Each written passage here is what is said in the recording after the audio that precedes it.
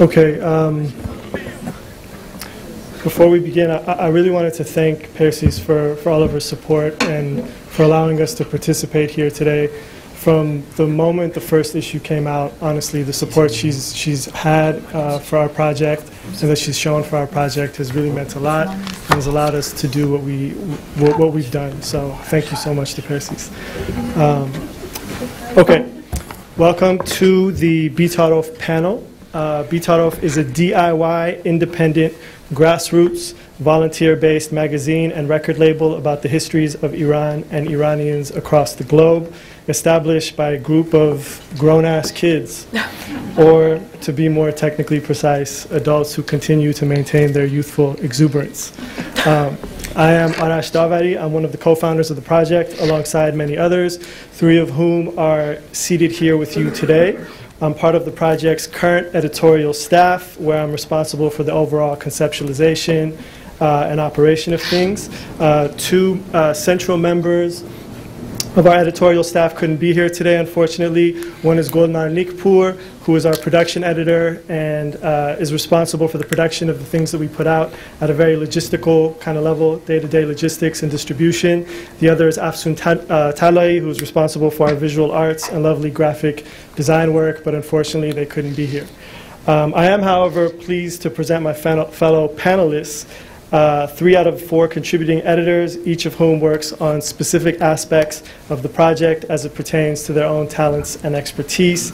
We have, in order of appearance, Solmaz Sharif, who is responsible for our poetry series online, uh, Mani Parcham, who was our written content editor and copy editor for issues one through three, and who is now responsible for the oral history project, and uh, Arash Dinia, whose many talents from event planning to photography to DJing to politicking to translation are willingly offered as the project has needed it. Um, although I think his official responsibility is the poetry that goes into the pages of the magazine. Uh, what we'd like to do today is to present Bitarof to you in case you're uh, unfamiliar with it, and for those who are aware of it, uh, to open up a discussion about our experiences and motivations in producing this kind of material. We deeply and sincerely understand this project to be a collective one.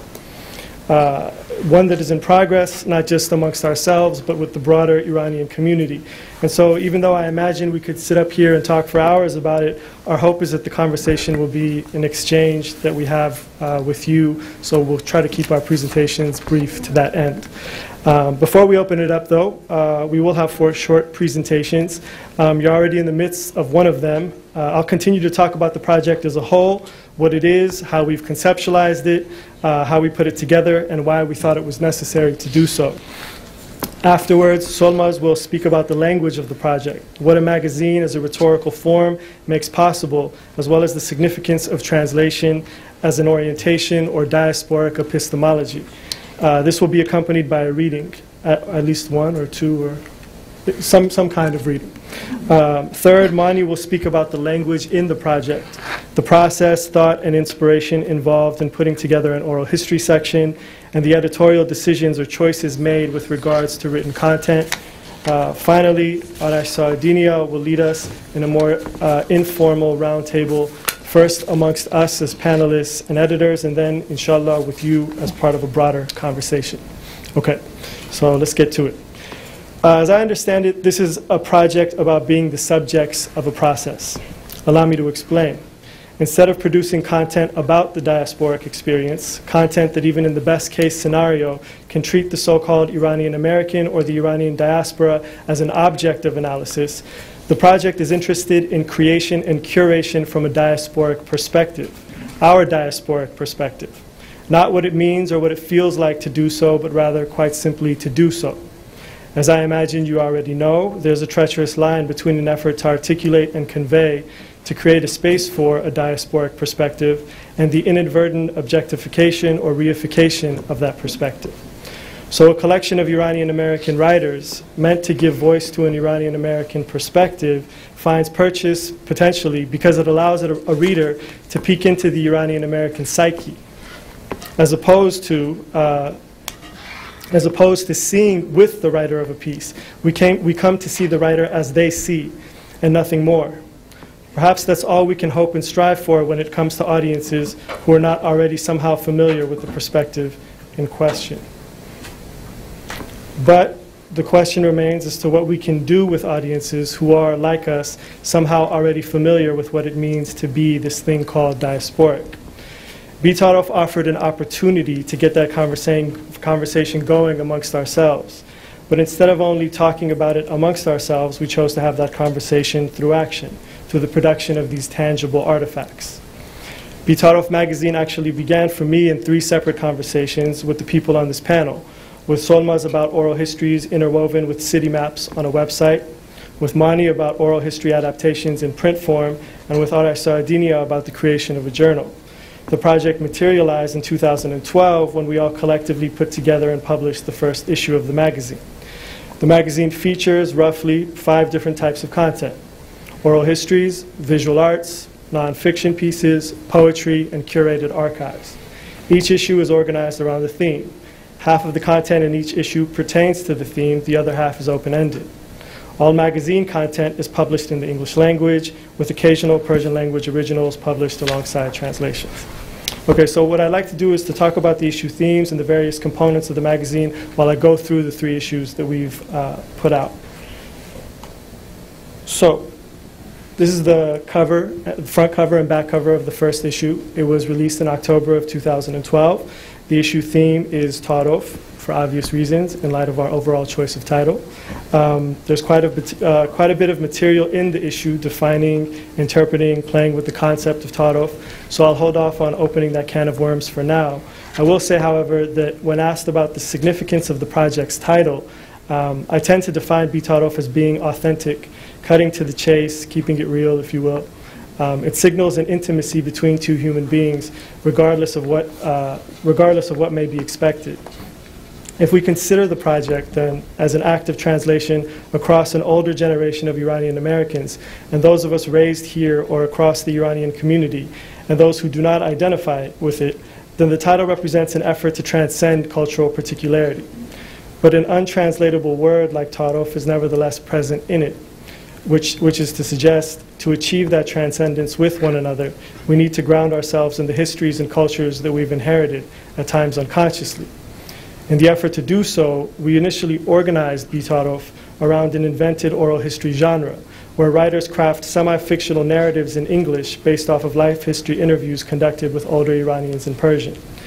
The genre deliberately blurs the line between fiction and nonfiction in order to capture the aspects of a story that apply across individual experiences.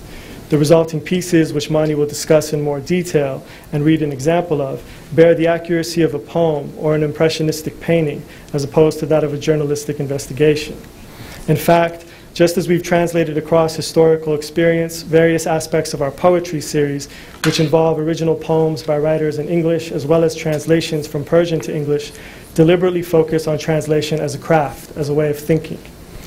The theme of the second issue, oh, sorry, um, here's some pages or some spreads from that first issue. So what we've done is we've taken archival ads that were uh, published in Iranian publications, um, from really any time in history 1960s, 70s, uh, but also during the revolution, after the revolution.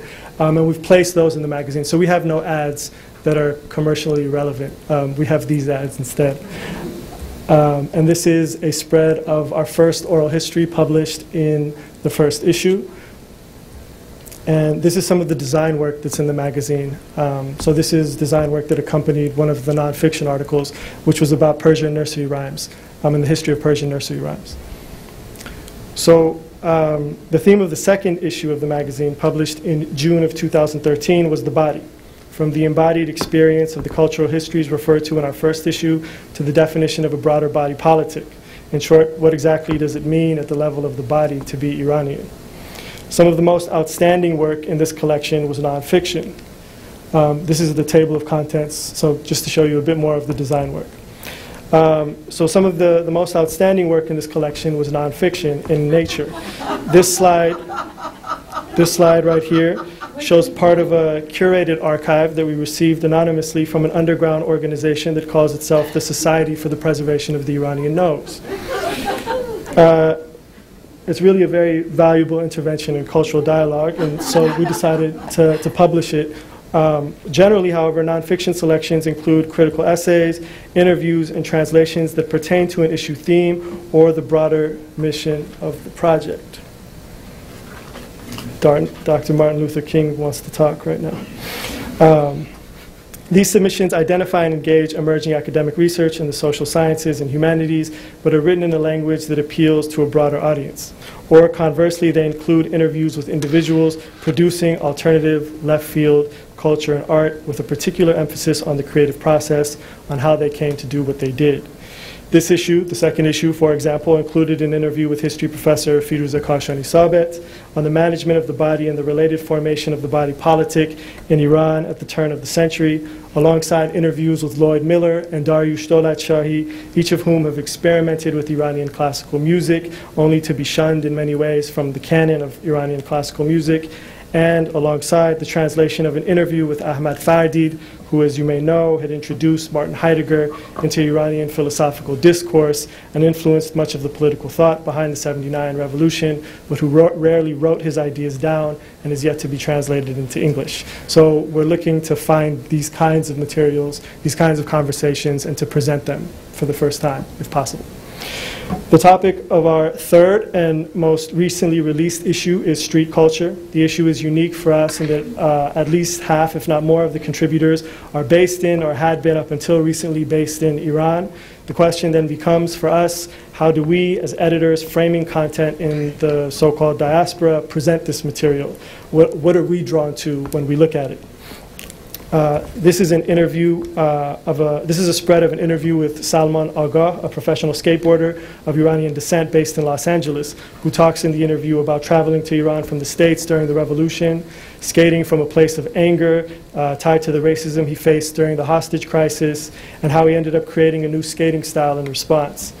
Uh, in addition to this, the kinds of content that you'll see in the third issue is, uh, is is something like this. The second spread is of Ardashir Mohasses's sketches, which were done in New York. Um, they're held by the Mohasses Trust. They haven't been shown before. Um, they only recently were publicly displayed in Art Dubai. So the piece is accompanied by an interview with the curators who exhibited his work there um, and the decisions they made in presenting the work as they did. The issue also features uh, work like this. This is a photograph by Arash Saedinia um, for a series called Chetori Motori. Generally speaking, our visual arts section uh, features never before seen engagements with established figures in the visual arts community who either work on topics pertaining to Iran and or are of Iranian descent. We are particularly keen on presenting the artistic process of these individuals in an interview format or better yet through drafts of works in progress. These appear alongside the work of artists who possess talent but, who are yet to attain widespread recognition, be it in Iran or in the diaspora at large. These artists are generally asked to produce original pieces in response to the issue theme. Ideally, their work is crafted and developed in conversation with our editorial board, who provide the artist with feedback over the course of the production process. Finally, the last part of our project is a record label, an initiative that emerged out of our podcast series where rare musical recordings were made available. The second of these podcasts was released on vinyl uh, Omid Walizade's Modern Persian Speech Sounds, which involves original compositions of electronic music that draw all of their source material and sounds from recordings produced in the 1960s and 70s, primarily for children, primarily by the Kanun Parvarish Fikri Kudakan Bano Jawanan in Iran. This latest branch of the project highlights our shared archival sensibility. There's an emphasis here on digging through the archives and finding materials produced by generations past. This is, however, an admittedly fraught endeavor. To what extent is it possible to maintain our excitement for studying the past without a romantic nostalgia for it? At what point can that uh, kind of investigation be tempered with a more tragic disposition, one that accounts for the past that lives with us, even when we don't want it to, when we aren't excited about it being there? I think these are questions that we can all talk about in further uh, depth during the roundtable and the Q&A. For now, I think it's safe to say that Bitarof as a project is united by a desire to not only take from the archive, but to also give back to it in a tangible fashion. To this end, we've insisted on producing material objects that you can hold in your hands, um, and that by consequence can last for generations to come in their own right. So I'll leave it at that and allow others to carry on the conversation.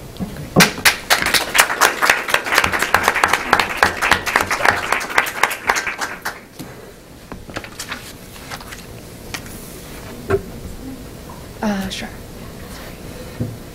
Hello, everyone. I'm Solmaz Sharif. Um, thank you for coming. I want to add my, my voice to the chorus, thanking Persis, who has changed my life personally. When I was 13, I wrote a, a poem, a little poem, that she then found and published in A World Between. And um, one kind of skewed the way I saw the publishing world because then I thought, oh, it's kind of easy um, when it, it's not. Uh, and, um, you know, made me officially a poet, you know, and she continues to support and encourage me, so I thank her for that. Um, and to that end, I wanted to just read a poem of mine as a way to introduce myself. Um, this poem is not necessarily one that deals with um, Iran in any kind of uh, rigid sense, but speaks to how I see these identity-based prisms and understandings um, as ways to actually build connections and collaborations between all kinds of identities. And when I was uh, 16, I heard um, Angela Davis speak at the Iranian Women's Studies um, Conference in Berkeley. Um, this year, actually, it's happening in, in Los Angeles this summer. And she used the word, uh, or she used the words women of color to describe Iranian women. And it was the first time I'd heard it, you know, and I, and I could, and it immediately resonated with me. And it was the first time that I felt comfortable using an identity term. Um, and, and because that is an identity that's based on, you know, building collaborations between different people. Um, so based on my own awareness of, you know, redacted documents and, and prison and, and all that stuff, uh, I'm just going to read a short poem that's called Reaching Guantanamo. Um, when letters are sent to inmates in Guantanamo, they are often redacted by the Joint Task Force. Um, so they're heavily censored. Reaching Guantanamo. Dear Salim, love, are you well? Do they, you? I worry so much.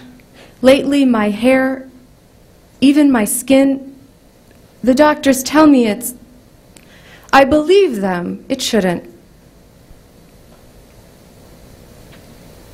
Please don't worry. And moths have gotten to your mother's. Remember, I've enclosed some, made this batch just for you. Please eat well. Why did you me to remarry? I told, and he couldn't, it. I would never. Love, I'm singing that you loved. Remember the line that went, I'm holding the, just for you, yours. So I want to talk a little bit about the form of a magazine and what it means actually for us to choose this form when, when we could have chosen, you know, a variety of forms. Um, and I recently heard a Palestinian poet by the name of Ghassan Zaqtan read. And he was asked about the role of the Palestinian poet. And when, when tracing the, the shifts that have happened after the Nakba, um, he talked about this move away from the poet um, being the collective into the more personal. And the way he described it was that the poet, uh, the Palestinian poet, had stepped off of the frame on the wall where he had been hung and now was sitting on the couch in the living room among the people. And um, I think of magazines as the language of that living room, you know, and I like that idea of the personal still including a collective. There is a we there. Um, the language of various we's decided by architecture, so the language of the living room, the coffee shop, the salon, um, we, are, we are all up here as writers and poets, scholars, translators, and various combinations therein, involved in a number of knowledge-making endeavors. We are fluent in the languages of, of the peer-reviewed paper, the letter to the editor, the semi-yearly literary journal, the blog, and so forth. Any number of the articles we publish in Bitarof could be published in these other arenas, but the magazine form, print, and online allows us to place all of these in conversation. The magazine is not like the ephemeral newspaper interested in disseminating immediate bits of information, though a magazine may have such information. It is not like the more enduring bound book, though some of its essays and stories and poems may later be republished as such. A magazine is more conversational, vernacular than these kin mediums. I don't even mean to say that the language inside the magazine is necessarily conversational, but the fact of a magazine is. It is brief but impactful, subjective but knowledgeable, polyvocal, varied in approach and tactic. Even the quality of the magazine paper speaks to this relationship with time and consequence. It's not the quickly yellowing and disintegrating newsprint, not the austere and purposeful paper of books, but instead often glossy, sexier, a paper that respects visual information and, and experience as much as text that prioritizes design, admits it's not made to last, but doesn't want to be chucked out tomorrow. It lives, even weekly magazines, in a bit of a lag, though of its time, and because of this lag, it is in deeper, more long-form relationship to its material. Still, it does not claim the expertise of a scholarly book or novel. The magazine is willing, in other words, to take the temperature of culture, to begin to name it, to place these cultural realities next to each other without claiming authoritativeness. It is reflection of and creation of taste and aesthetic experience. I've been responsible for the translation poetry section that we are developing online. Uh, we find this important because we want to be in conversation with Iran and with poets writing in Persian. An online platform affords us the opportunity to potentially keep pace with what is happening in Iran, a pace faster than anthologies or print journals, while reaching a broad audience. This is us saying we want this conversation to be immediate, to be current, and we want these translations speaking to and resonating with the pages that Mani will discuss um, in more detail. Right now we have a translation by a young translator named Samad Alavi up of Shamlu's um, Sheri ke or A Poetry That Is Life. And despite Shamlu's obvious status as free verse dawn in 20th century Iranian poetry, this poem, an earlier kind of uh, friskier, rougher poem, does not appear in translation in any anthology or publication I could find. This is, of course, one problem of displacement that our experience and knowledge of our home cultures become narrowed and distilled by tastemakers, by scholars, by scarcity beyond our control, we are most sensitive to gatekeeping. To understand a poet, we must know the range of the poet's work, including her or his lesser or early work. To understand a language is to understand I mean, to understand a poet is to understand a language. To understand a language is to understand if such a thing exists, a people. It's important for us as a magazine, again, to broaden the conversation around this poetry, both in what we publish and in the fact that it finds itself juxtaposed against stories of diaspora. Um, this is not just a transference of data, in other words, this is a we, an intimate and shifting one. Um, I want to read a little bit of Samad's uh, translation of Poetry That Is Life. Today, poetry is the weapon of the masses because poets themselves are one branch from the forest of the masses, not jasmines and hyacinths in the hothouse of so and so. The poet of today is no stranger to the collective toils of the masses. He smiles with the people's lips he grafts the people's hopes and pains upon his bones.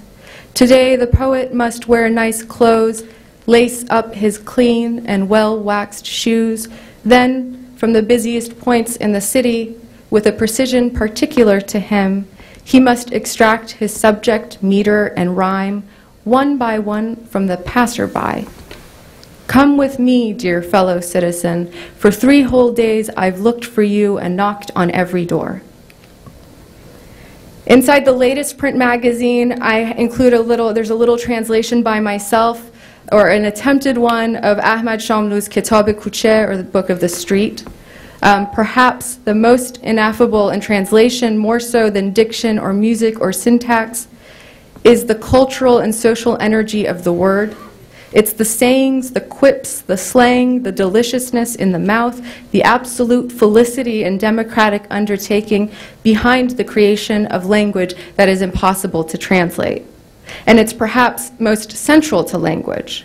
It's a writer's and a society's bread and butter, so it's no wonder that Ahmad Shamlu, a poet, turns lexicographer for Kitab Kuche to gather the lexicon of the street from esoteric to commonplace in a multi-volume, sprawling encyclopedia slash dictionary.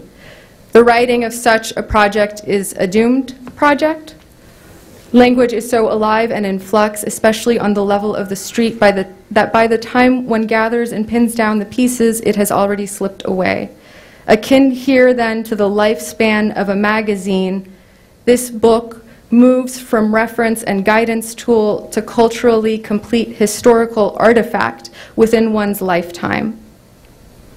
I see this translation as translation as eavesdropping because the point is not necessarily to translate it into a dictionary that would then be useful in English, so it becomes, you know, a Persian to English dictionary, but to try and eavesdrop on what it would mean to have this book in Persian before you. And I'm interested in this dictionary and in this magazine because I'm interested in what we lost culturally, socially, aesthetically, and displacement. This translation of Kitab Kuche was just an attempt to hear, however dimly, the din of the streets I would have otherwise walked.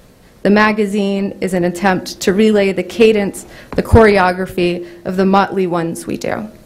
And uh, with that, I'd like to pass it on to Mani.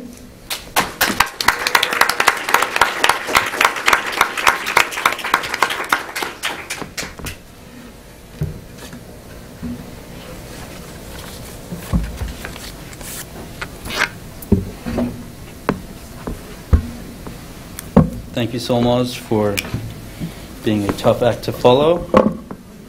Um, my name is Mani Parcham, and uh, like the others, I'd like to echo my thank yous to Persis for. okay, I take it back.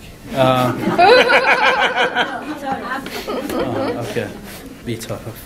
Uh, so I'm just going to give you a brief rundown of uh, what we do with the oral history component. Um, the idea is that we just we ask writers to do this, but it, it's it, just logistically, it's a difficult um, thing to ask of. You know, writing is difficult enough as it is, and so we ask writers to gather interviews to find people that they find particularly interesting or who have a particular story, and we ask them to kind of interview them to to feel out a story, to suss out the um, the peculiarities, the the nuances that may be commonplace or may be boring uh, for the interviewee um, and then to kind of get a feel for a time and place, uh, a moment where um, others may not have had that kind of uh, ability to access for whatever various reasons.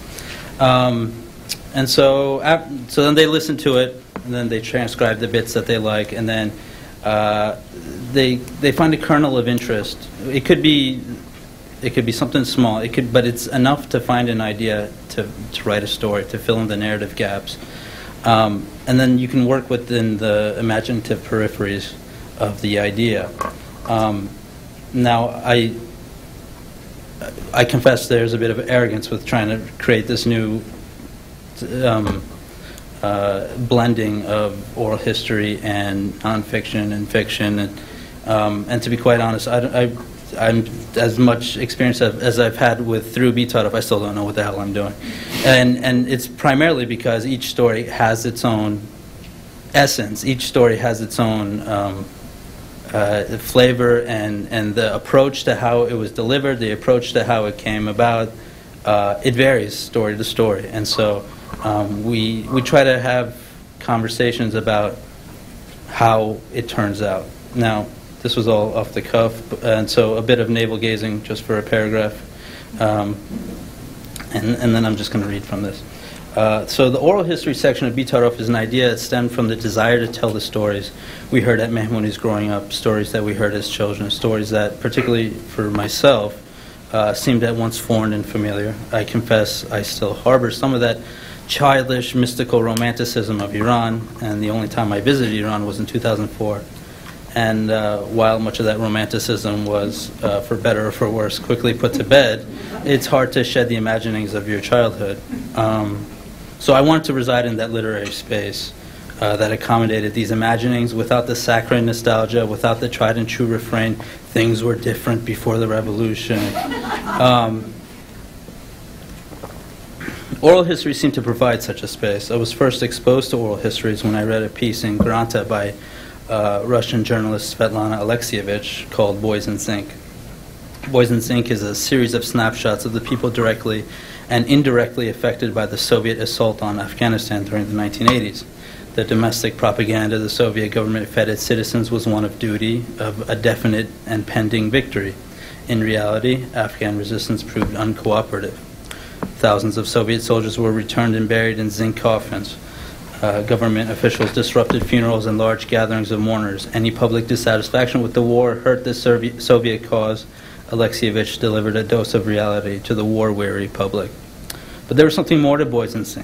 There was nuance and a hunting, haunting touch uh, to the language of the piece's subjects, which I attribute to Alexievich's interference. And while I recognize that interpreters could potentially have had a hand in the language, uh, I'm much more in the camp that Alexievich had manipulated the words to double down on the impact of the stories.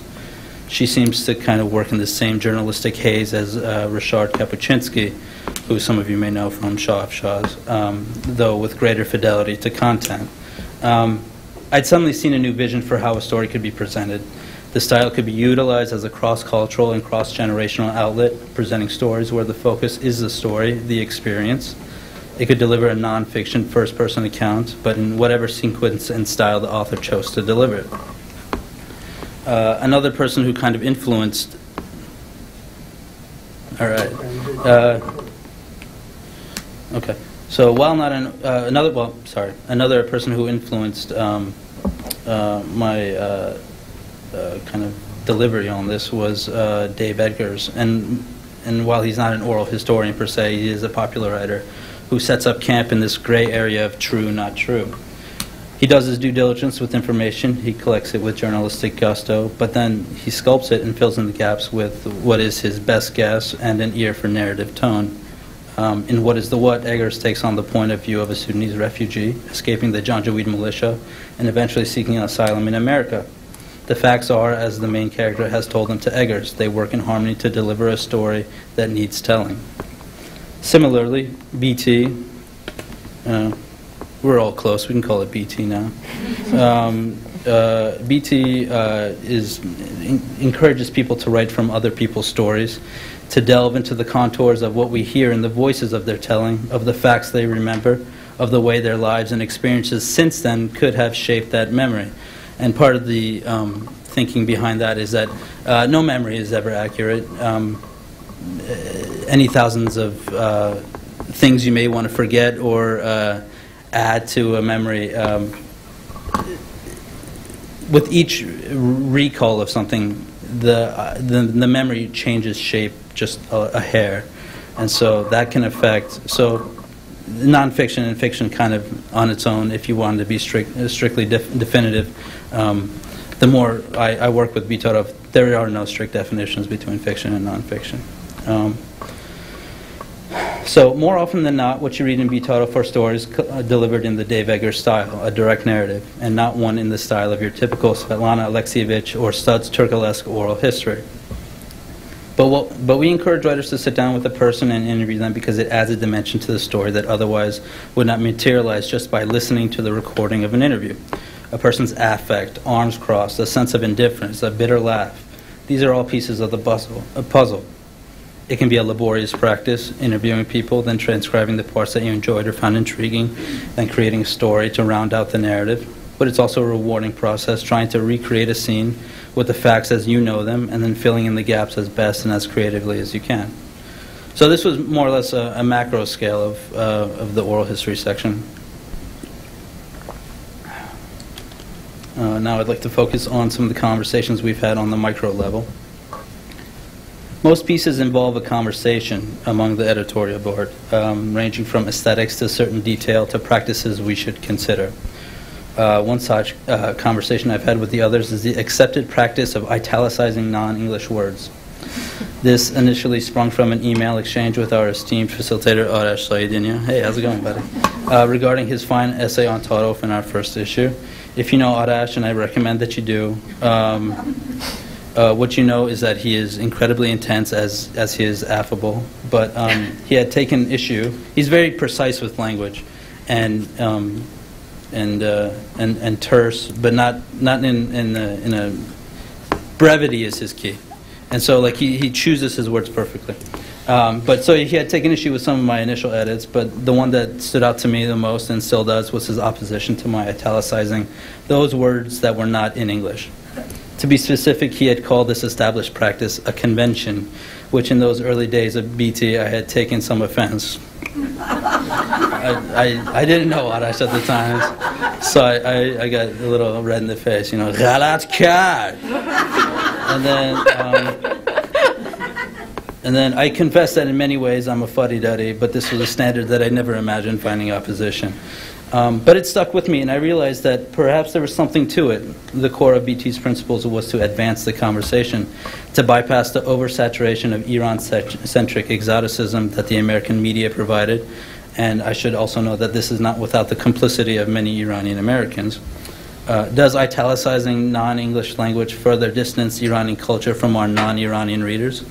It's a subtle thing, but the convention um, but the convention of italicization has been ingrained in readers the expectation of not knowing, and with not knowing begins the tentacles of otherizing, particularly when cultures, cultures are involved.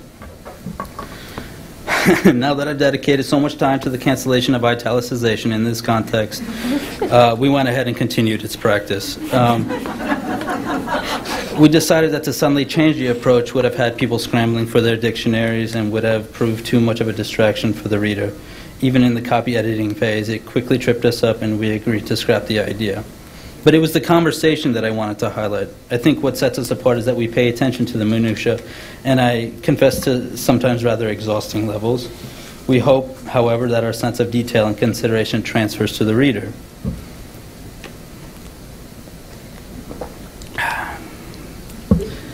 Uh, so the editorial board also takes up conversations about representation within a piece. In our second issue, we had an excellent or, oral history, uh, The Message by Patty Shafafi, um, uh, that in its initial draft had multiple and continuous references to beards and um, hijabs and assigned them to unsympathetic or stock characters. These were seen by some of the editors as common and belabored tropes on scary fundamentalists in the and in the initial conversation, I was uncomfortable asking the writer, an academic by training, to take out what was seen by some to be coded language for bad Muslims. I also had trouble justifying the removal of what seemed to be basic facts. The antagonist had a beard and another wore a hijab. These were truths as the story delivered them. And while we were on the topic of truths, the beard and hijab had all the markings of an interview detail, facts that an interview subject told the writer. To my logic, removing such details felt a bit like censorship. In the context of Iranian and by extension Middle Eastern politics, the beard and full hijab is a signifier to both sympathetic and non sympathetic observers alike. To do away with these allusions felt like an artificial solution to a problematic hurdle. My suggestion was not to do away with the, uh, not to completely do away with the allusions to beards and the hijab, though I did pare down the references. I mean, after a certain point, we get it. Um, instead, I suggested that the writer humanize the antagonists. Simply put, they don't operate in a vacuum of malevolence. Furthermore, speaking as a writer and editor, creating such one dimensional characters indicates an, an agenda at worst and an incomplete consideration of the scope of the story at best. This is not to say that I suspect that the contributor had any agendas. She simply may have been caught up in telling a story from the viewpoint of the person who experienced it. And this is another one of those things where I don't know what the hell I'm talking about because this is exactly what we want them to do. We want them to get into the heads of these right of of their subjects. And um, and I went ahead and said, well, that was nice. Please change it just a little bit.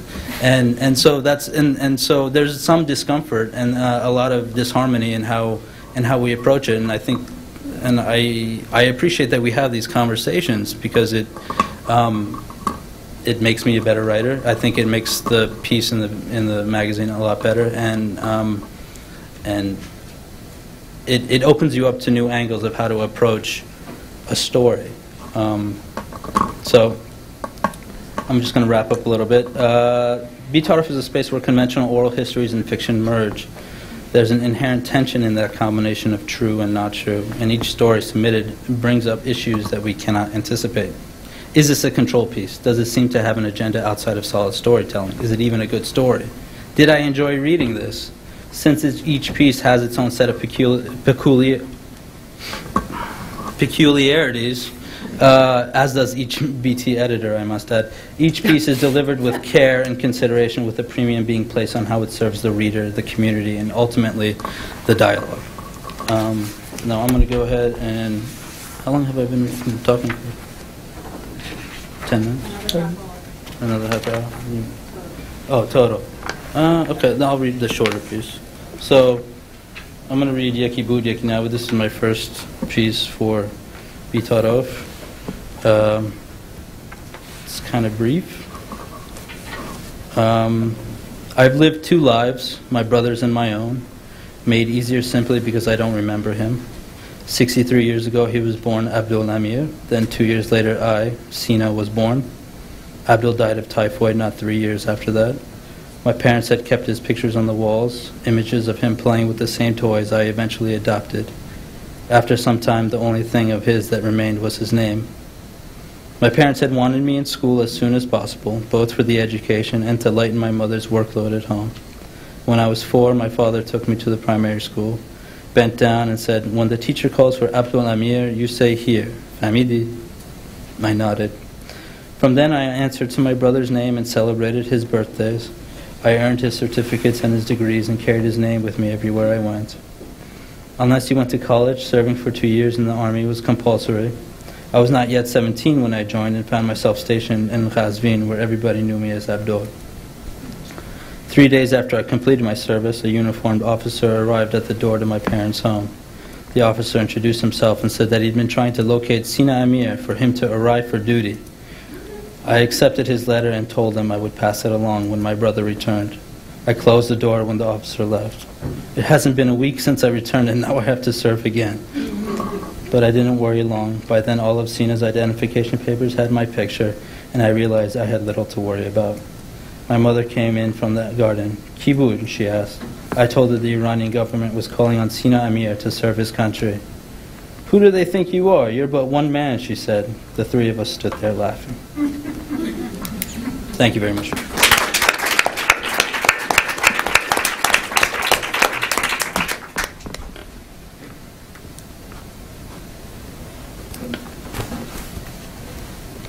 So I'll begin by making a very obvious observation, which is that this conversation happens as a result of the magazine. We would not be here if not for the opening up of this physical space that is the, the magazine. And we can think of making, be it a magazine or a painting, as a kind of intervention. Many nouns and verbs attend. A magazine is fixed. And as Solmaz points out, it's of its time. It creates a space. And so I'd like to begin and we'll open up to questions from the floor by asking about this space that's opened up. Uh, I begin with Arash. I think it'd be useful for all of us to, to hear more about, because you're, in a sense, the initial instigator of this intervention, this, this project, which is tentative, which is um, a process. What kind of space did you envision? What kind of space is emerging from not just the, the physical space of the magazine itself, but this imagined space? What, what's emerging out of um, the publication of these issues, and for that matter, the web presence and the records themselves? Yeah, I mean, I, I think that when we initially conceptualized this, and this might be a controversial thing to say or not, um, I think there wa- we, we felt like there wasn't a space for this kind of a conversation. Um, and the thing that, in terms of the content of the space, the thing we had in mind was to do something for left field, alternative, like if, if we think of being Iranian American as such, as marginalized, we're like, well, what about the people that are at the margins of that margin? Because at least for myself or some of the people that I was in conversation with, I think that's um, where we were coming from and what we wanted to somehow capture.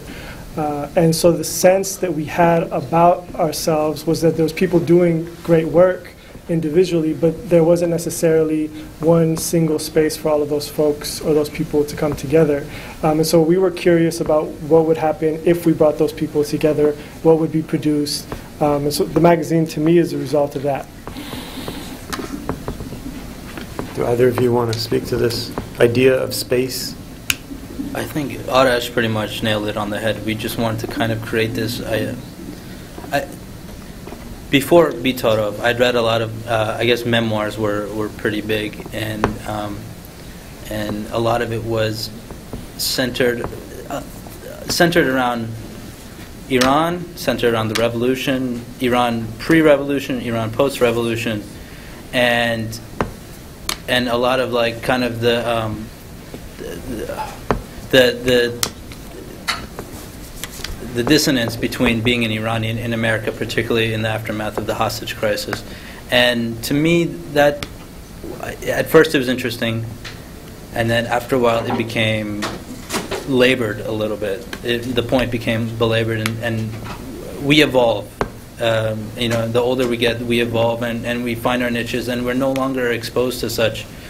Um, uh, Iran may be exposed to such uh, hostilities from an American public, but we, I think we've we've found some level of assimilation, and, and I think we've.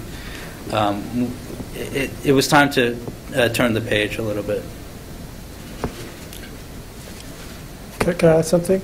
Um, I think one interesting facet in terms of the response that we've gotten with regards to the space, um, the, the further we go along and the further, the more people find out about the magazine and the more positive feedback we get, to a certain extent, there's these opportunities for the magazine itself to start to kind of become institutionalized, to come out from the margins. And, and the question, at least for myself, is at what point do we start becoming corny? At what point is there a margin to what we're producing that we're not even anticipating? And how do you, how do you keep up on, on producing that kind of content or that kind of material? I don't know. That's an open-ended question.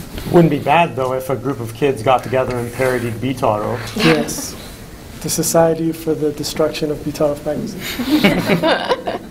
Or we thought of. Bitaro, yeah. I mean, a, r- a related question is, you know, because this is opening up space, what are the stories that need to be told? And when I say stories, uh, not just narratives, but where is the where's the need? You know, where's the need? So, uh, you know, Solmaz, for example, I think can speak very articulately to this incredible need for poetry and translation, for an exposure to Iranian poets, contemporary Iranian poets in Iran, and to the entire, if we call it a canon or not, receiving some kind of audience outside of Iran. No, absolutely. I, and I, I think that, um, as I kind of said in the in the talk, that um, there there are a number of issues with translation. One being that so few books are published, period, in translation. And then of that, which ones are actually Persian language? And then how do you decide which poets writing in Persian you translate? You know, and that participates in this canonicization of what this poetry means. So Iranian poetry becomes more and more um, distilled as it reaches us in the States. Um, whereas it is obviously varied and it's alive now, and we are in a very lucky moment that we have technology to communicate and to get that out faster um, and to respond to it in time and to have artistic conversations across those borders in real time as opposed to the kind of usual lag of, of um, cultural exchange, you know, where something will like reach a decade later or so and then start taking off. Um, and that's always been important for me. I've always wanted to, to read these people, to find them. Nobody was doing it, and you know, I think very much in the spirit of Bitarof, it's like you don't see it being done, so you, you step up and, and do it yourself. Um, but the other, the other language, or the other thing that was missing was that in the original conversations that Daveri and I had was that I was very interested in collecting uh, oral history specifically of um, leftists that were involved and have been displaced um, in the Iranian Revolution, and not the not the, the leaders or the you know the people up top that everyone can kind of name, um, but but everybody, you know, the people I kind of, I grew up around and who had all these incredible stories. Um, and to try and find a way to just archive those stories. And, and there are a lot of people, I know like Manisha, and, you know, are, is doing fantastic work around this, so I'm, I'm happy to see that happen. Um, but I knew that I wanted to kind of also disrupt that, that uh, vision of especially like Los Angeles Iranians. Um, the, the gala attending crowd is not necessarily, you know, the only crowd. Mani, what's the feedback been like on some of these oral histories, um, not only from the subjects, from, from people reading it? Do they say, oh, I see myself there? Or is there a laughter of recognition that echoes and resonates in a way that you find gratifying? You know, uh, I confess I don't get a lot of feedback, only mainly from the people that, you know, and and and I. Part of that is because of my location. I live in D.C. There's a lot of Iranians there, but it, it's just not as. Um, uh, it's it, there's not as much, I guess, gathering. There's not as much um, uh, kind of outlets to present stuff like this. And so um, usually people who buy it are people who, who know me and are like, ah, we'll do this, we'll throw this guy a bone. but then, um, but I have had a couple of people like, you know, I really enjoyed this story. I thought that story was funny. Um, that one story with uh, the one that I was speaking about, Patty Shafafi's, was very. Um, uh, that got a lot of, uh, I think, that brought back a lot of memories, particularly, and I confess that my family is um, a pair of leftists, uh, and they, um, the- their their friends and family, I think, saw a lot of resonance with that story. So um, th- there is some there is recognition, but the but it's been muted, kind of. Hmm.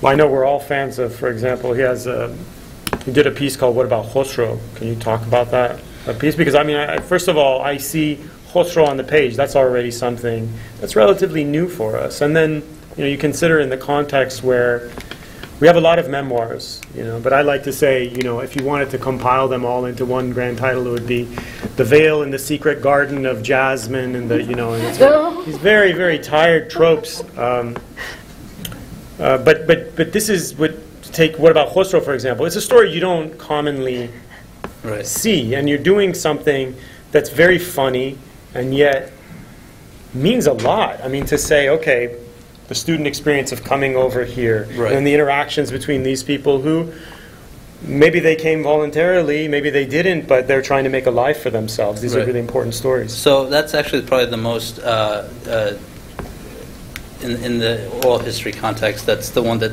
kind of has the same framework as somebody like Stud Terkel or uh, Alexei um, Svetlanovich, or Svetlana Alexievich, excuse me, Russian names. Um, and so it was, it's a story about uh, these two uh, roommates in, in the United States. They're trying to, just like you said, they're trying to go to university, but they're also supremely involved with the uh, anti-Shah movement. And then this guy who happens to know through somebody, through somebody, through somebody, one of the roommates, and he it better than I can. Yeah, but the story, yeah, the the, st- the idea of uh, the guest that won't leave is probably something that um, that is pretty universal. And actually, I'll be in town for the rest of the week if anybody wants to open up any space. There's a there's an interesting story about that story as well. Um, to my knowledge, that story was based off of an actual conversation with three people, and then at some point, maybe um, when the second issue was being published, Monty told me that it was 95% fabrication. Um, so everybody believed it, and everybody thought it was completely accurate. Um, and, and so this this to me was like really a representative of this blurring of the lines between fiction and nonfiction. 90% of the editorial staff was fooled on this one, um, but it still rang true on some level. Yeah. Fact and truth are not necessarily commensurate. Can you can you speak to? I think one of the one of the great challenges that we face now is because is that we're seeing a lot of really wonderful stories and possibilities for doing things. Some things that we can't even talk about. So, but what we can talk about are the politics of editorial politics.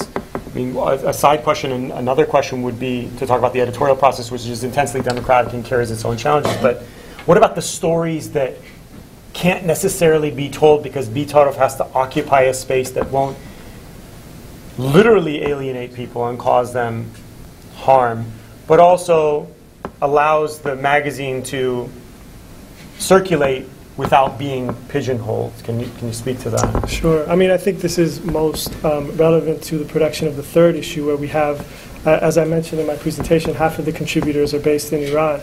So the question for us is, um, how can we produce content that'll allow the conversation to keep going, right? And I think that um, we we've had a number of moments where, um, for example, there was an article that could have been published about covers of punk records that were produced between 1977 and 1982, where punk culture in the United States was all about being as defiant as you possibly can. So the image of Khomeini was on a bunch of punk records made by these American kids.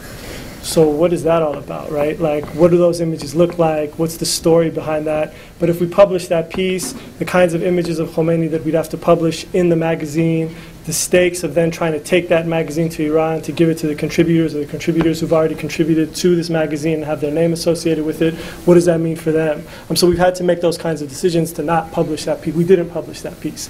Um, so I think uh, there's, there's those kinds of decisions, and, and we're, we're effectively engaging in a kind of self censorship, but the, I think it, the, it's been worth it because of the conversations that it's allowed and made possible. There's plenty to talk about without, without us having to publish that particular piece or those kinds of pieces. And so that's been the challenge for us. Let's find those things that we can talk about and how is that productive and generative? How is it a challenge that actually ins- incites or inspires conversation? Do we have questions from the audience? Yes. Um, That sounds great. I wish I- I could come to your editorial and just be, I mean, I'm just so impressed. Um, I don't know if you guys know about Dialogue, which was Dialogue, which was published in Iran, and for- and I was lucky enough to sit in one of their editorial meetings, and like you, and and it was just fascinating. So it just reminds me of those glorious moments in Iran. Uh, This is after the revolution. How do you, how do you deal with um, the language of Iranian newer generation, the Twitter language? I tried to learn that language, and by next week, they have changed it. And how do you engage with that language of Facebook that Iranian youth, I mean, just create? And the words just need stuff that I cannot even guess from the book. How, how do you deal with that? Just communicating with them and their violence? I mean, I, I don't want to speak for everybody else, but from my conception of it, we're the old-fashioned faction of the young generation. Yeah. So we, are, yeah. So we uh, we insist upon print publications. We insist upon vinyl records. We put out a vinyl record. I mean, that's how old-fashioned. Gramophone. Yeah. So um, where our Twitter account is okay. We tweet sometimes. write in that language, don't No. we don't accept it. Yeah. We push people. Yeah. Other questions? That Yes, sort of touches on my question about, you know, in the age when everybody is losing the print function of magazines and going online. And I think, uh, I don't remember Salman's, uh, you spoke to this a little bit in your remarks. But, um, can you say a little bit more about that? Because I, I love the feel of this. And yet, I want to know a little bit about like, so how are you doing the business of making a magazine? I mean, you all are a volunteer collective, correct? But then there's the whole question of like, how do you get people to consume this beautiful thing when most people have stopped subscribing to many magazines? It's a hustle. Yeah, I mean, it, it, we, a lot of it is donation-based, a lot of it is um, uh, pounding the pavement, finding places to sell the magazine. I know in California, they, we do have a few subscribers as well. I know in, in LA, Audash and Audash have done uh, immeasurable help getting the name out there with um, events and, uh, and, and like going to Shekat to Kitab and, and uh, trying to get some kind of just get get uh, creating exposure. So and and just reaching out to friends and family and, and but donations is pretty much what it comes down to. I just also want to say thank you, because it's really a, a endeavor of love, and it's obvious to me, and I'm so impressed. So Mhm. thank you. for all of Thank you. There is precedent. There was a really one, I mean, you think about maybe I'll talk about it on a, on a, on a, on a later panel, but, you know, I was someone that from a very early age was looking around, trying to see myself in books and, you know, in films, and um, Saida Pakravan's journal Chante, which some people in this room may remember, was a very important thing. I Having Naficy, I look now, you know, I see some of the people involved in it, you know, the people that are doing the necessary work. You look at Naficy's history of Iranian cinema. I mean, without it, who? There's a friend of mine, uh, Ali Bakhtiari, who's one of our contributing editors. The work that he's doing on Persian pop music, um, he just published a book on the Qanun and all the Qanun records. This is, this is, you know, uh, you know, I'm not religious, but you know, the kind of work that he's doing is kind of, uh, it's special work. Yeah, it's it's. Uh, if, if not Bakhtiari, who's going to do it? You know, and I think that what the editors are doing here is is just that. That it opens up a space, um, and you know, those chantes which were published in print, they still exist in university libraries, and maybe Arash can speak to this. You know that there may only be 500 copies of each of these issues thus far, but they will be in libraries. And an enterprising, inquisitive kid who might not see it in Sherkat Kitab or at one of our openings or events may eventually dig it up, and it will speak to 2014, 2012, 2013, but beyond those dates. Maybe we should open it up. Yeah. Yeah. Uh, First foremost, I've had a glance at your magazine. It's really beautiful uh, product. It's really nice to read it. And uh, concerning your audience, uh, your magazine intend to connect the American, uh, Iranian Americans to Iran or Iranian Americans also to the rest of the American citizens and groups and communities. When I looked at it, I had the feeling that it's most, uh, mostly to connect you to what's happening in Iran, and we all know that it's very dynamic in terms of cultural production now. Um, Could I, could I add a third option? How about connecting Iranians across the globe who are not, who are somehow left field alternative to one another? I think that's the audience really, to, to kind of speak amongst ourselves. So if anybody wants to listen in on that conversation, they're fine with, come on in. But, you know, um, I think that's what our objective is. But, you know, you can't um, So have a system. connect the Iranian diaspora worldwide, Yeah, but that includes people in Iran, because I think there's plenty of people in Iran that are producing material that aren't necessarily within the mainstream of artist, the artistic scene there either, right? Um, and then there's people in Europe, then there's people in Canada, there's people in the U.S. So I think it's about having that conversation globally amongst ourselves.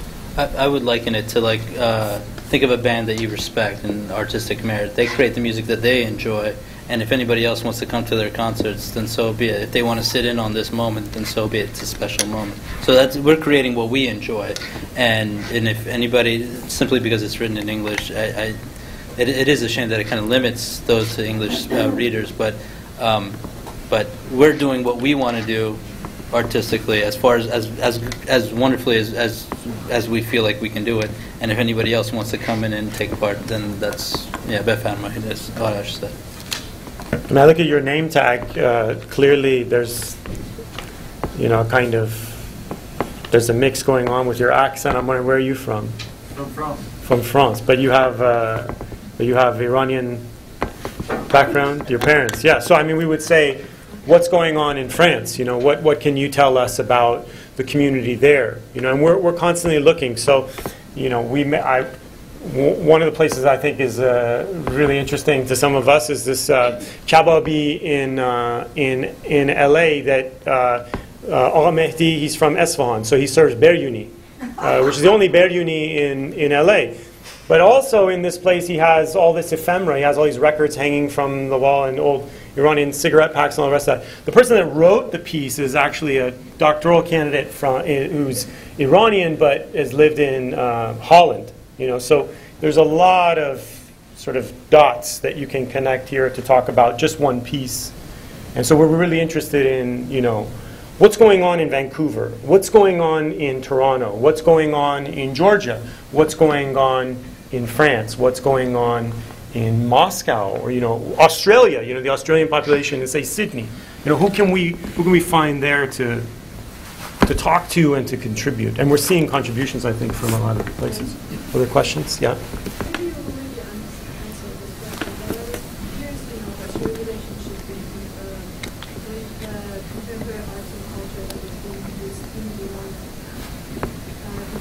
said in the last issue, you have, you're showing three artists that are working in Tehran, Mustafa Farah, Kuzu Yunus, and Wilbur Vasquez. But, um, yeah, so, so, so in a way, you're, you're, s- you're saying that you're, um, creating a space for the marginalized margins, um, but then you're also, um, showing where that is being used in, in Iran. I, I wasn't clear on, um, yeah.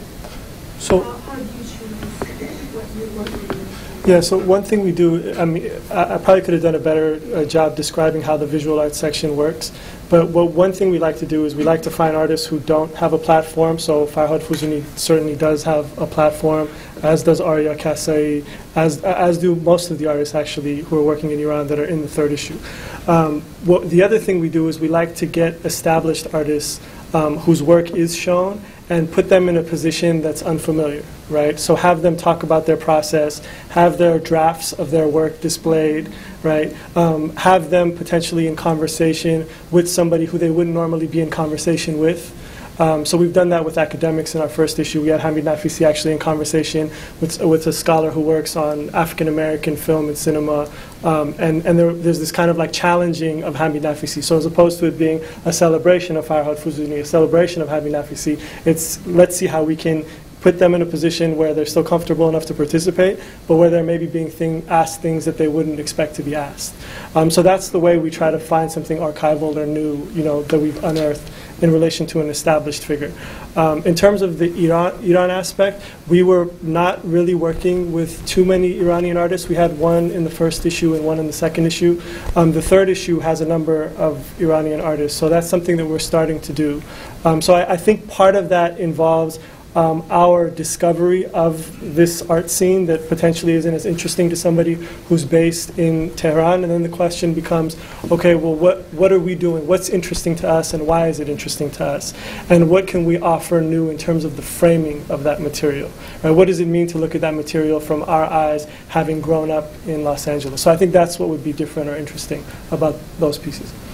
What's interesting, something interesting happens is we show the stuff, we show the magazine in Iran, it becomes a kind of entry point. You know, oh, you know, and then you know they get to see what people are doing. For example, what Kaveh Kashmiri is doing, an Iranian artist. You know, I'm thinking about that lunch that we went to. Oh, so that's what that person is doing. But I think you know, you look at Samir Yamin's work. You know, Iranian artists in Iran who don't know that work need to know that work because it's some of the best work that's being done in diaspora. So there's a really interesting cross pollination, or just put simply, maybe not pretentiously, awareness of what other people are doing, which I think is part of that opening up of, uh, of space, which I think is really exciting. And if I could add one other thing, Ali Akbar Sadeghi may be really well known, this is a guy who has not get, gotten enough attention for his animation, for his painting. So while may, many Iranians may know him, uh, this is someone needs to be put on. You know, his, it becomes maybe, hopefully, in the future, you know, having an article about him spurs. You know, we show, hey, we're, we're serious in our interest.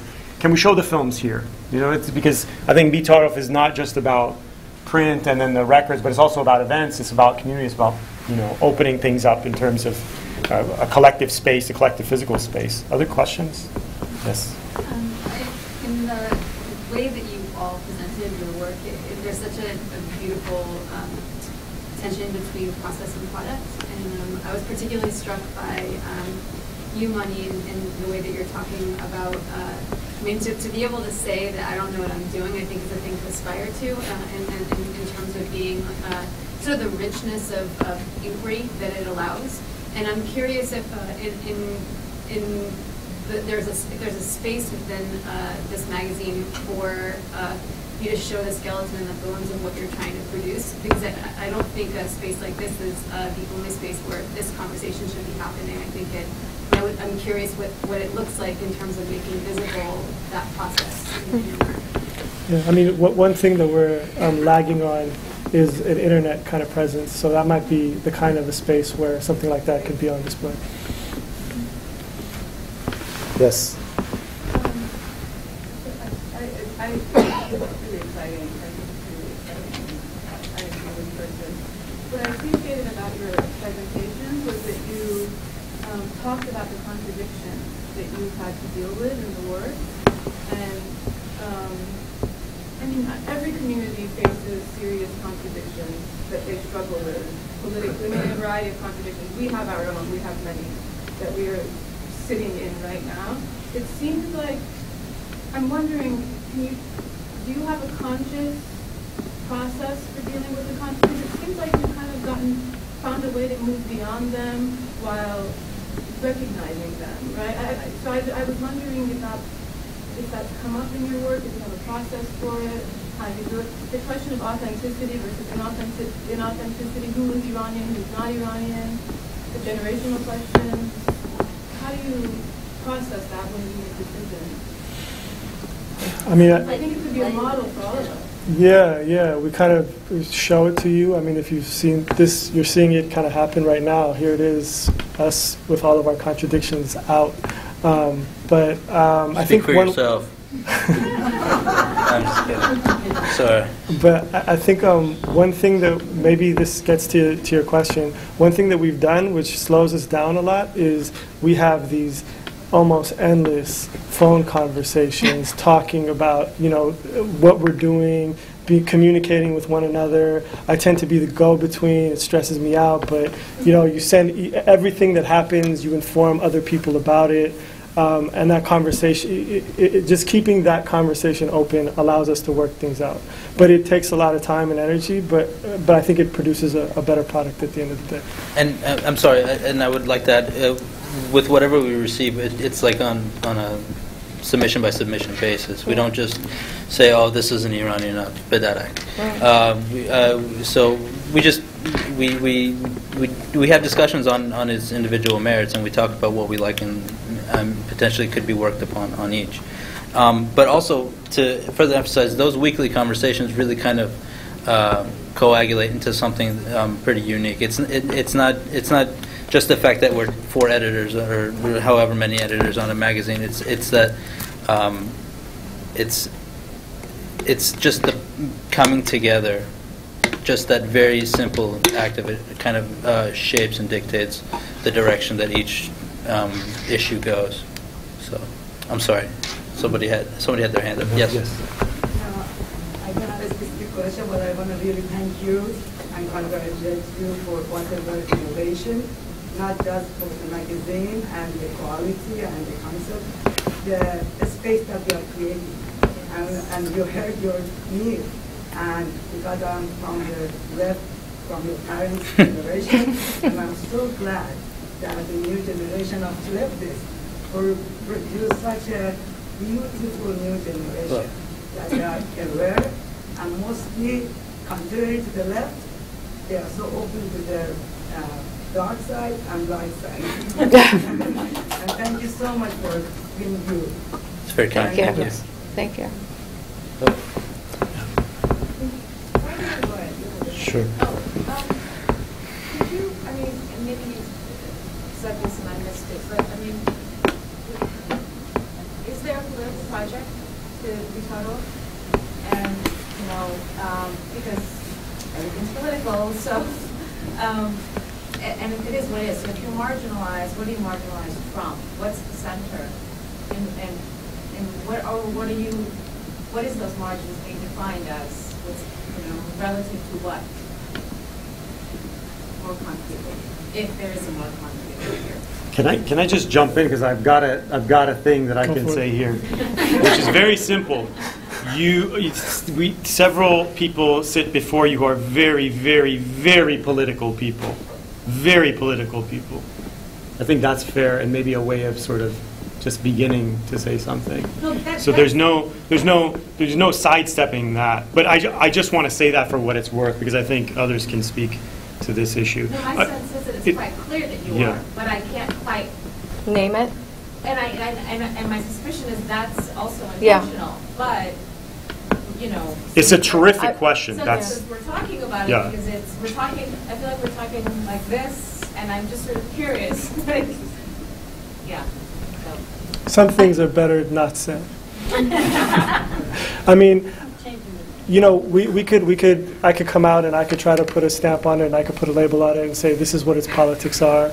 But then, what if in so doing, you know, I put, I close a door that, you know, Solmaz would want opened, or I close a door that some future uh, contributor would want opened.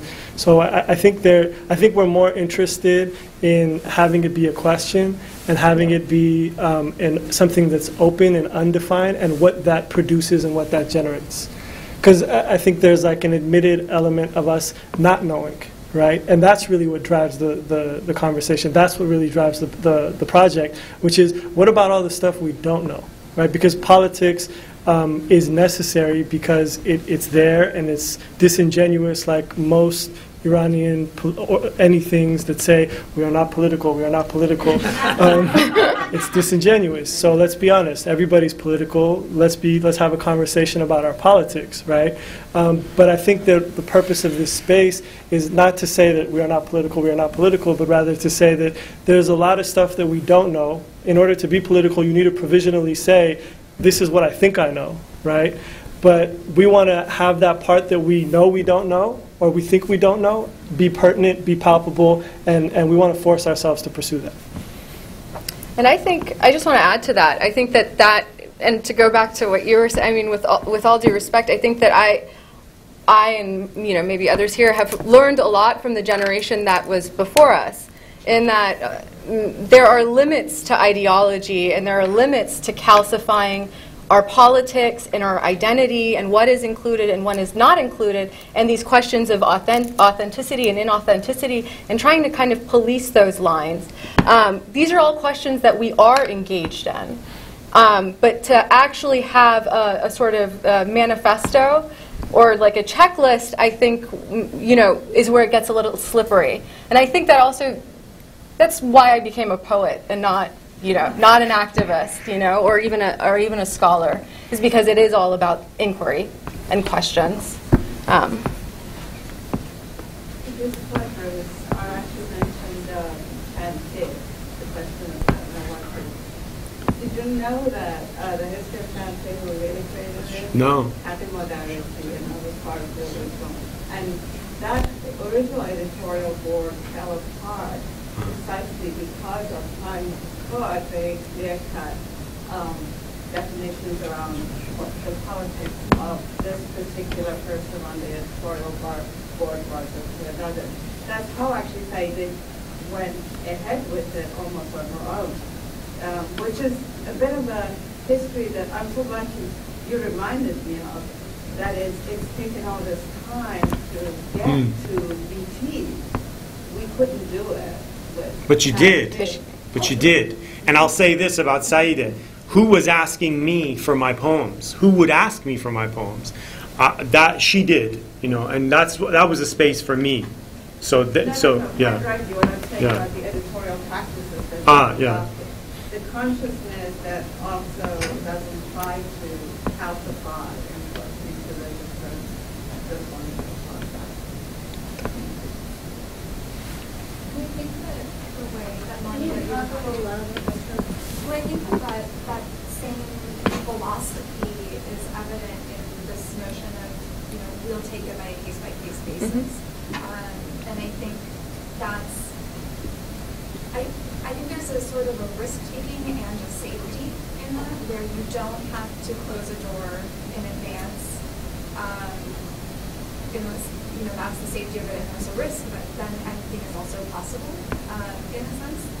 So, uh, philosophically, I think, you know, there's, there's ways in which that it's just, it's in the editorial process itself that is politics are revealed, um, and it's not a matter of saying what the politics are, because these politics tend to be very dialectical anyway. I mean, if anything that we've seen here that's being talked about anyway, it's that, you know, it's in terms of hierarchies and dialectical processes that kind of propel politics culture forward. So, you know, leaving space for that, that conversation to take place and as things move forward, leaves it all open to a case-by-case process, and that's what makes it hard to nail down and also that much more fascinating to witness. But, but it's hard to do when you're trying to do this internationally and across different national Mhm. contexts, especially in the Iranian context. What is it specifically? So, no, no, no, no, it's just, it's, for, for me, it's not a concern, for me, it's just interesting, the challenges, and, and, and Mm. it's not even, uh, you know, it's, I was trying to figure out what the editorial group within themselves, how they discuss this, but what's political, there are some things that are shared, there are some with power, there are some things that are shared internationally that is affecting everybody, and then there are some things that are very local, right, obviously. So how this moves when you take something, and it's, it's, um, it seems to be working thus far for you guys, and it's great. I mean, but I know that there's a ton of challenges involved. So, you know, where, how you write something here for a particular audience in the US or in Europe is gonna be read very differently in Iran. And if you have someone in Iran writing, you know, because the powers that are impacting folks in Iran, oppressing, you can say, or whatever folks in Iran, or liberating them, are going to be quite different. So how that moves across, you know, that's, that's tough. That's, that's incredibly audience, right? It's like the, and, and you're saying that you're trying to get all the, this sort of sub-community, culture to come together, and it's interesting. If I could say something, um, in a different, like, with a different hat, I'm a, I'm a PhD student myself. I do political theory. So it's all about, like, if I was giving this kind of a presentation in that form, it would be all about having everything down to a T, ready to anticipate critiques and respond to them. This is, I think, a different kind of project, at least for me, insofar as it's like I could just like let my hair down and like just just do right, just put something out there and see what happens. And I think that's, I mean, I- when I'm hearing your your point, that's what it reminds me of is to the extent to which we just did something. And we're just doing it, and we're figuring it out as we go along. And I think we're really fascinated by what it generates by just doing it.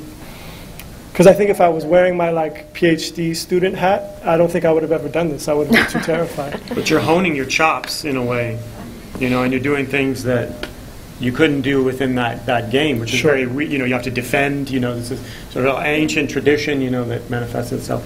It, and it'll never be comprehensive, you know, but as, as, as Barth says, you know, do not attempt to be exhaustive, you know, that's liberating. We have time for maybe one more question. Sorry, I, I'm- that's okay. I, I, I've just been thinking about what you said, about you have to engage in some self-censorship. Without mincing words, um, Iran is a dictatorship of many sorts. I mean, even though it's, it's not homogeneous in some sense, but it's quite obvious. And from here, when you want to engage audiences there, in the out- outside, you have a different voice.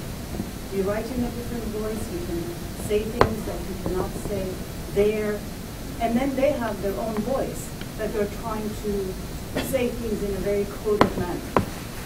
So, I've just been struggling with what you said in the sense that what are those lines? How far are you willing to move the censorship line? What, however, um, whatever you call them, in the sense of um, the, the context of it, you know? I don't know exactly, you just gave us one example, but how far are you willing to, uh, to go in order to be able to uh, connect with people in Iran? And then, when people read the stuff that you guys have written under some sort of a, an edited version, however mild, um, how would they know that what you're writing is really what you're writing? You, you know what I'm saying? And it's not something that has been, I'm not saying you're doing this, I'm just, I'm just throwing it out there in the sense of um, what kind of discussions um, you guys are having amongst each other, in the sense of what these boundaries are, and how fluid are they, and how far are you willing to give in? Yeah, I mean, should I go? Yeah. Okay, well, I think, you know, we, we tend to say, um, from a, if, just to be reductive, from a leftist, leftist kind of perspective, that politics is everywhere, so, you know, and we grant that, But why don't we also say that censorship is everywhere, right? So there's codes here as well. You can make the argument that the United States is a neoliberal authoritarian country. I've seen plenty of people in political science, which is my field of study, make that argument. So then the question is, how do we translate across different codes of censorship, right? So this gets back to the question of translation, right? So translation is invariable. It's everywhere, all the time. You can never get out of it, right? And so then the question becomes, how do you navigate across various codes? right? Um, so I, I- I think that's the more um, interesting question for us, or, or maybe that's just a different way of reframing reframing your question. I I have issues with, with what you said, but anyway, I mean, that's. That's great. That's what you. Thank you all. Thank you. Yeah.